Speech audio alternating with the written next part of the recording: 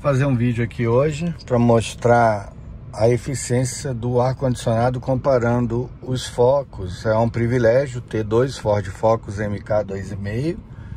Esse aqui eu tô dentro do guia sedã, ano 2010, 2010, ou seja, ano e modelo 2010, chama cabeça única quando acontece isso, né? Recebe esse nome. E baseado num gráfico sobre eficiência de ar-condicionado, quero mostrar para vocês a diferença que existe entre um carro e outro.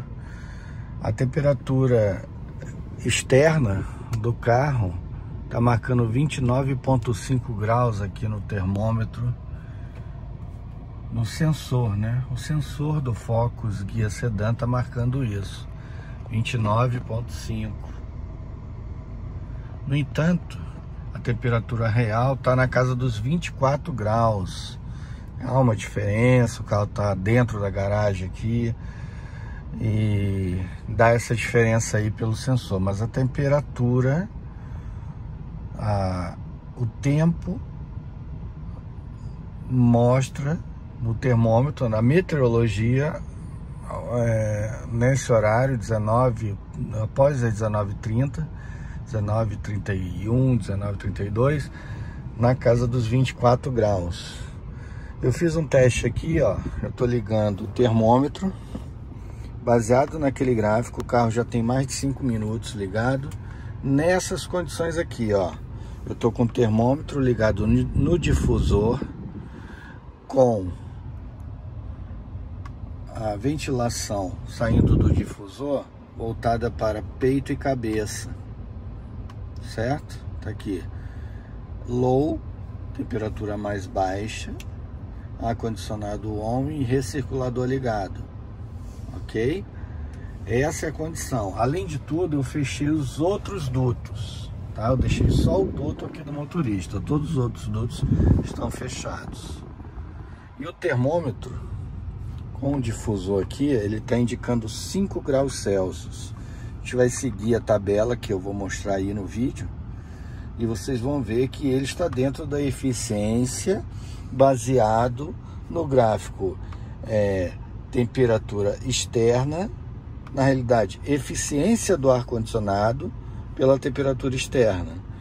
Então se estiver marcando 24 graus, a gente vai subir a linha do gráfico e vai ver o correspondente na linha da, da eficiência do ar-condicionado. Então, é, é um gráfico, você vai seguir a linha. Ele vai ter uma faixa central, que é a faixa de maior eficiência, vocês vão ver até pela carinha, o emoticon que, que existe aí, ou seja, está tudo ok, está tudo em ordem.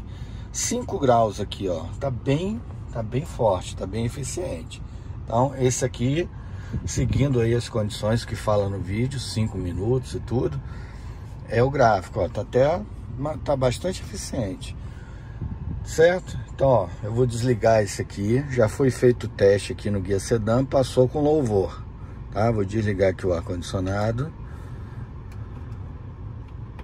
Vou até subir a temperatura, vou tirar um recirculador. Beleza? Vou deixar em alto que eu gosto. Na verdade não. Vou tirar de alto porque ele liga o ar-condicionado. Desliguei. O certo é você deixar ele um pouco em ventilação, tá? Você deixar uma ventilação forçada aí pra...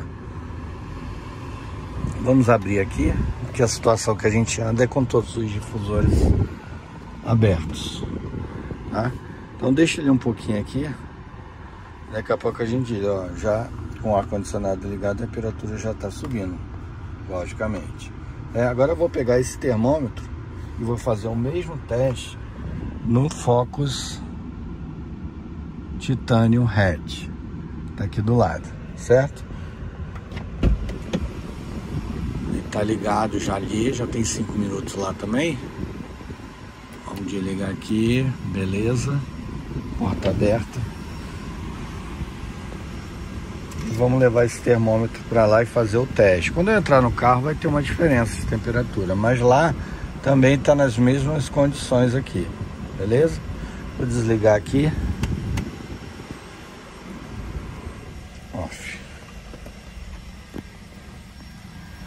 Vamos agora aqui pro sem cortes. Vamos aqui agora para o titânio. Vamos ver. Cada carro reage de um jeito. Não existe carro 100% igual ao outro. Certo? Vamos ver aqui como é que vai ser. Vamos entrar e verificar a temperatura aqui e a eficiência do ar-condicionado nasquelas mesmas condições do gráfico, tá? Eu entrei já dá uma diferença, né? Porque temperatura externa com a temperatura interna. Nesse aqui tá marcando 28.5 graus, temperatura externa. Vamos ligar aqui para melhorar a iluminação. Certo. Ok. Beleza. Então, ó, difusor aqui fechado, certo? Difusor aberto, difusor fechado, difusor fechado. Ar-condicionado em low. Condicionado em low.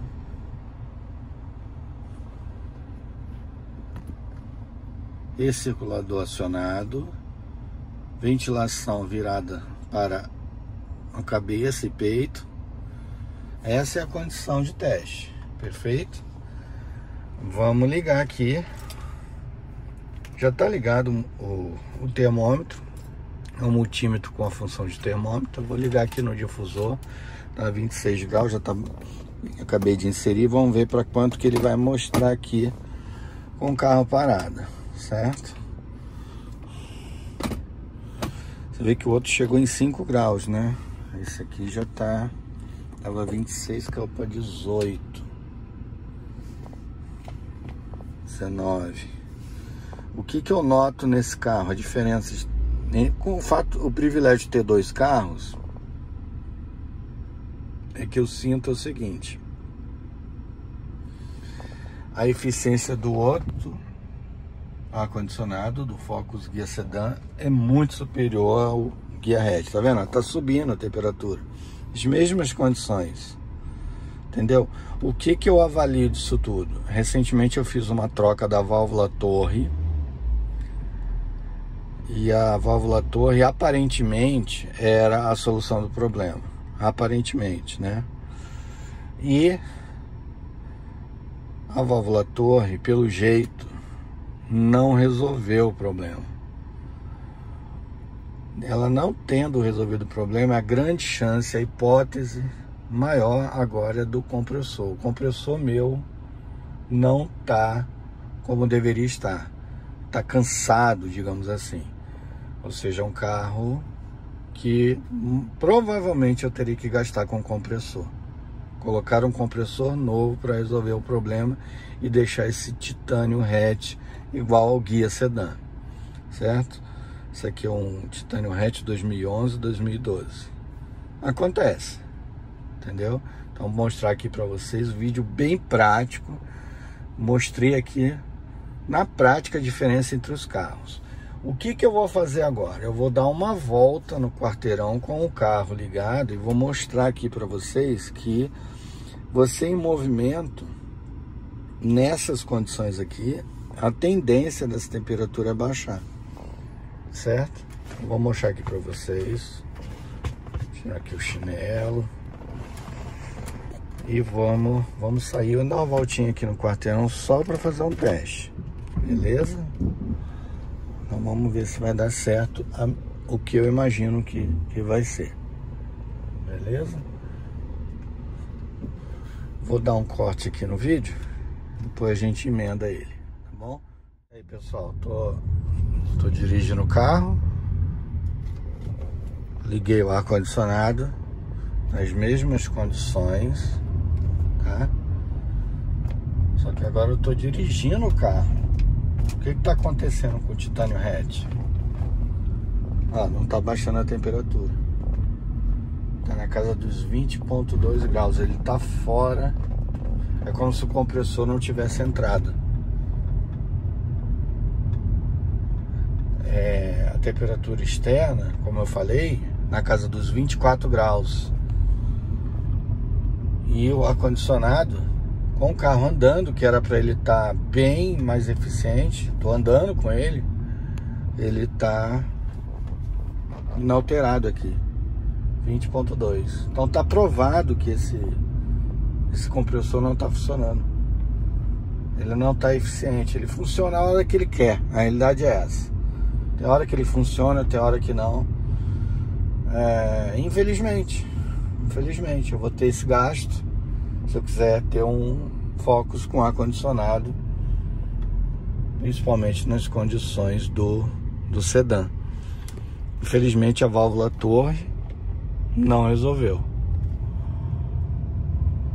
Beleza? Então esse vídeo aí fica de dica e é um vídeo bem prático. A gente faz no intuito aqui sinceridade, né? gente faz no intuito de tentar ajudar, certo? Então, a vantagem de ter dois carros iguais, né, entre aspas, é essa. Porque, entre, iguais entre aspas, porque nenhum carro é realmente 100% igual ao outro. Mas os modelos são muito semelhantes. É, praticamente iguais, né? Dois Ford Focus MK2,5. Então tá aí provado que eu tô com uma pane de compressor. É um gasto que eu vou ter, infelizmente. Beleza? Aí. Pessoal, fazendo aqui um, um vídeo para mostrar como, como que tá a eficiência agora do ar condicionado. É uma doideira. O ar condicionado agora com o carro andando tá funcionando. O compressor voltou a funcionar aqui. Vai entender? Beleza? E eu nem tô no low, tá? Eu tô em 17 graus. Eu nem tô nas condições que são exigidas. Eu tô com esse regulador, mas eu tô em 17. Vou botar em low para ver se altera alguma coisa. Mexer aqui naquela configuração. Low e ventilação no, no 1. Beleza. Vamos ver se altera alguma coisa aqui. Aí. 11.6 11.5 aqui ele está eficiente.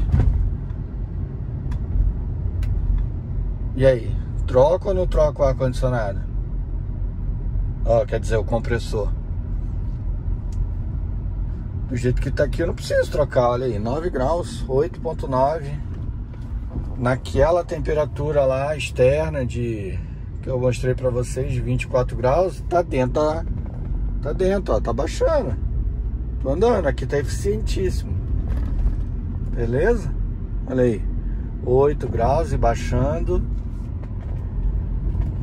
O carro em movimento, que é a grande maior parte a gente vai usar o ar-condicionado com o carro em movimento. Certo? Ó. Mais ou menos a temperatura. Você, você tá vendo? Você sai da garagem você vem para o lado externo, ou seja, anda com o carro, o sensor parece que responde melhor, tá vendo? Já está dentro de uma tolerância. Dentro da garagem, com aquele abafado que tava, tava dando um erro aí para 4 graus para cima. Agora já caiu para 1,5 o erro. Né? Então interessante também saber desse, desse detalhe aí. Aí, 8,5 Ó, aqui eu não vou gastar com compressor. Do jeito que tá aqui, eu vou levando. Tá? Um vídeo aí. Você vê, né? Tô na prática, não tem. Não tem por que esconder nada de vocês. Tá aqui, ó. Como tá agora, o compressor tá funcionando, ele funcionou. Agora com o carro parado, eu vou chegar na garagem lá agora, vou parar novamente, vamos ver como é que vai ficar a eficiência.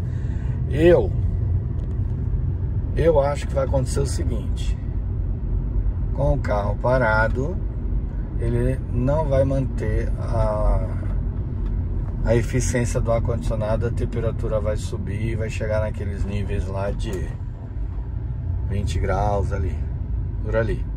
Com o carro movimento ele está aqui. Porque esse compressor aqui, eu não sei, ele está aparentemente querendo abrir o bico. digamos assim, né? Tá tá com os dias contados. Mas vamos, vamos tirar o máximo que a gente puder tirar de tempo de uso dele, né? Ninguém tá rasgando dinheiro aí tal numa peça tão tão cara, sendo que ainda tem um pouco de lenha para queimar, lenha entre aspas, né? Testando o ar-condicionado e falando lenha para queimar. Mas é isso. Né? Então vamos, vamos usar. Uma peça dessa aqui, o ideal seria o quê? Pifou de vez, você vai lá e troca. Porque fazer a preventiva é sempre salutar, é sempre bom, é, sempre bom. Mas com peças de valores tão elevados como é um, um compressor de ar-condicionado, eu acho que convém convém, ser, convém esperar, certo? Então beleza. Vou parar o carro, tá? E mostrar para vocês ali com ele na, na garagem.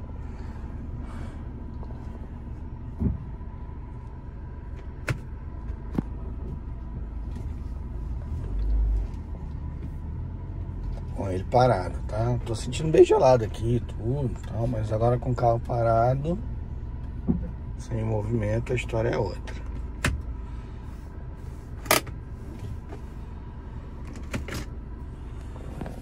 9.3, 9.4, o carro tá parado, tá? 9.5. E ó, detalhe, eu abri os difusores, vamos fechar ele novamente aqui pra ver. Se dá alguma diferença. Tá baixando, viu? Com os difusores, todos os outros fechados, e só esse aqui para o motorista ligado. Vamos botar o vento aqui para o peito, aí naquelas condições. E são as condições do gráfico. Eu mostro aí no vídeo.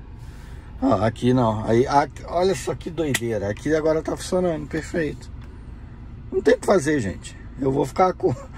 Eu não vou comprar um compressor agora, tá vendo? Então esse vídeo aqui, ele pode ser dividido entre uma parte que eu digo que vou comprar e eu termino o vídeo dizendo que eu não vou comprar. Tá vendo? Que ele vai cair dentro da eficiência do gráfico com aquela carinha sorrindo ali. Tá tudo ok com o compressor.